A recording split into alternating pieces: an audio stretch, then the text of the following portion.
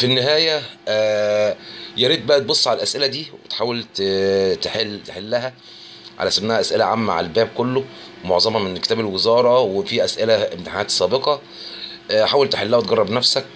آه، سواء بقى أسئلة كانت موضوعية أسئلة مثلا اشرح مسائل. حل كل أنواع بحيث إن أنت إيه ما يبقاش قدامك أي مشكلة. وطبعا بقى لازم الفترة دي تحاول تحل بكالة كاملة تدريب علشان خلاص الامتحانات قربت. والسلام عليكم ورحمة الله وبركاته. البص 2020